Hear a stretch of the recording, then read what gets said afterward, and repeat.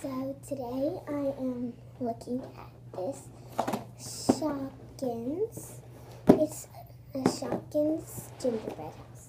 So they have little stickers on the back that you can cut out. And let's get opening. So they have, let's see, you have to make it. So, oh, what happened? What is this? What? Monster.